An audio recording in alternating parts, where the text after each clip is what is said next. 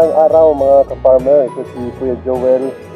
Ako po ay nandito sa aming uh, Farm. Ito po ay magkaanin na buwan pa lamang mga kaibigan. So nandito po ako para po mag-abono. Ito po.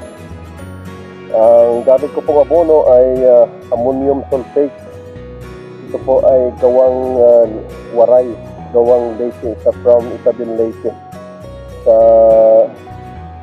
uh, tawag dito, yung gumagawa ng mga abono mula po sa bayan ng Isabel Leyte. So, ngayong araw na ito ay uh, katatapos ko lamang pong mag uh, linis sa mga puno kasi last week ito po ay nilagyan ko ng herbicide.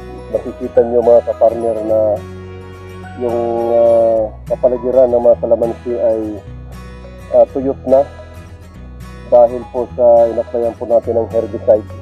So meron po akong uh, inupahan dito na nag-grass uh, cutter sa paligid ng kalamansi. Pero dito po talagang in-apply natin ng herbicide. So ngayon tayo po ay mag-apply uh, ng herbicide.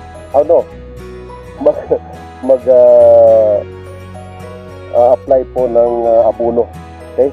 Para po lalo silang ano, yan, tingnan po natin mga kaparmer. Oh. Marami na po silang mga okay, mga bunga, no? Maliliit pa. At saka marami po mga daho, mga bulaklak. Yan. O, titingnan nyo po. Napakaraming mga bunga. Yan. So, yung iba, hindi pa namumunga. Ito, wala pang bunga. Pero karamihan ay may mga bunga na sila mga kapartner. So, mag apply tayo ng mga abono. Ito mga kapartner. Talagang tik-tik yung bunga. Malalaki na pero ito po yung mga ano, natitigas pa. Lalaki pa siya.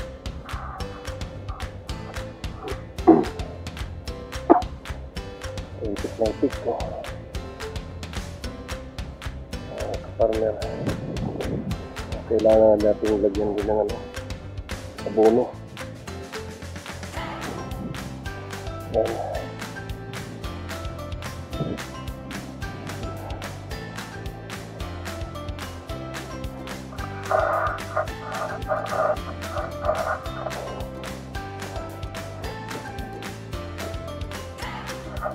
marami, marami pa silang bulaklak.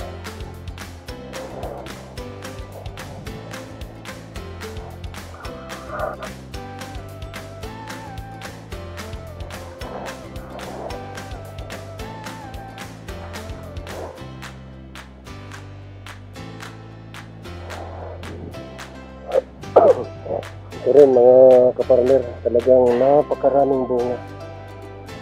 So, pag inaalagaan natin yung ating mga kalamansi lalo siyang uh, namumulaklak bumubunga kahit siya po ay bata pa.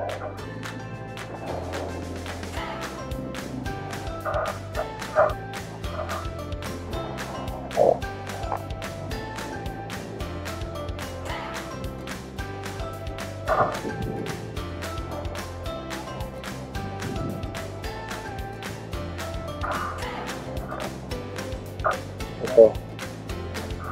Talagang marami siyang bunga mga kaparmi.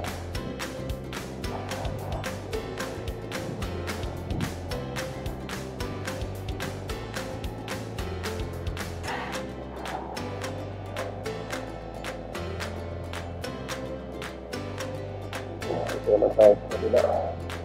Ay, ito wala pa dito.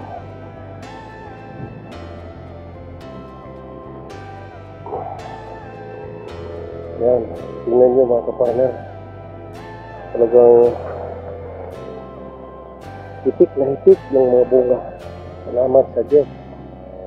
Na kahit dumaan yung mga bagyo, ay marami sa kanila na natumba. Pero sinangon natin mga kapartner at uh, cultivate at sila ay nakabangon at ah, magpatuloy na mamunga muli.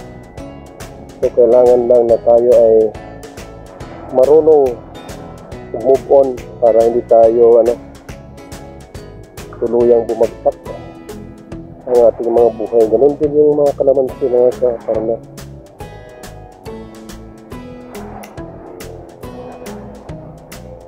Tingnan nyo, talagang hitik na hitik yung bunga.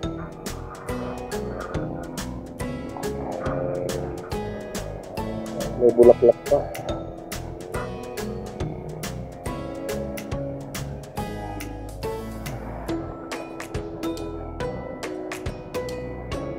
Ito mga. Ang Mataas siya.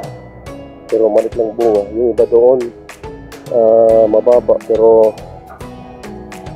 maraming bunga.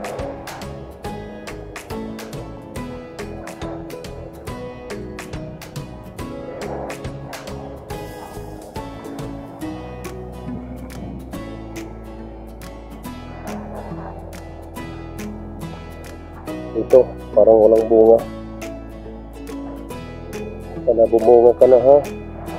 Namulaklak ka na. Meron siyang mga kulisap.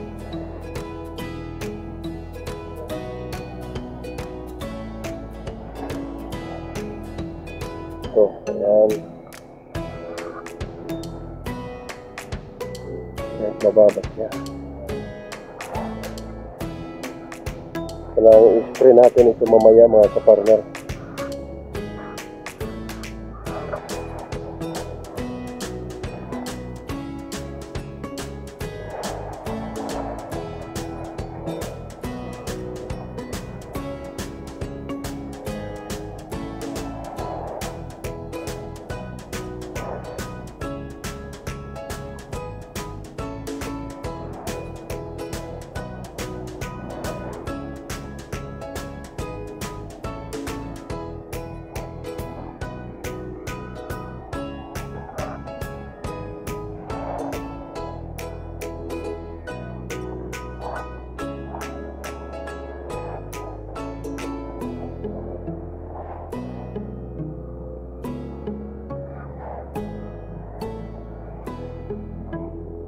Marami siyang mga baging.